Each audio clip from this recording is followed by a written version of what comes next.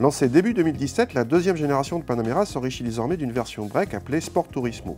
Même s'il s'agit d'un break de chasse plus tourné vers l'élégance que vers le volume de chargement, cette Panamera Sport Turismo est le seul break de la catégorie, celle des A8, série 7 ou classe S. La Sport Turismo reprend les dimensions de la Panamera Berlin et ses motorisations de 330 chevaux aux 680 chevaux de la Turbo SE hybride qui arrive bientôt.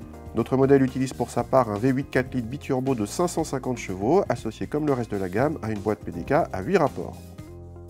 La planche de bord est intégralement reprise de la berline avec sa console centrale laquée noire presque entièrement tactile, l'écran central de 12 pouces ou le combiné d'instruments avec contour central.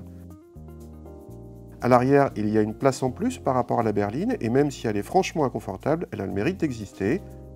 Le coffre est en hausse de 50 décimètres cubes sous tablette par rapport à la berline et plus si vous chargez jusqu'au toit. Le seuil de chargement est plus bas et la banquette se rabat en 40-20-40, un vrai break quoi, et au passage, le coffre le plus grand de la catégorie. Contact LV8 émet une belle sonorité digne de son rang. Le turbo commence à souffler fort vers 2500 tours et on monte presque à 7000 tours sans faiblir. Avec l'option Pack Sport Chrono qui octroie un launch control, on passe de 0 à 100 en 3 secondes 6, soit mieux qu'une 911 Carrera 4S. Et ça continue ensuite puisque la vitesse maxi, atteinte sur le sixième rapport, dépasse les 300 km/h. Côté confort, notre modèle d'essai avec roue de 20 pouces a montré de meilleures aptitudes que la Panamera 4 hybride récemment essayée. On n'a pas le moelleux d'une classe S, mais les passagers sont bien traités. Bien sûr, notre Sport Turismo est à l'aise dans les grandes courbes, mais on ne l'attendait pas aussi bluffante sur petite route.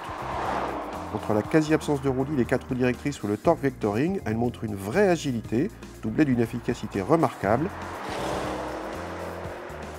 La Panamera en berline ou en break, malgré 40 kg supplémentaires, est bien la plus dynamique de sa catégorie.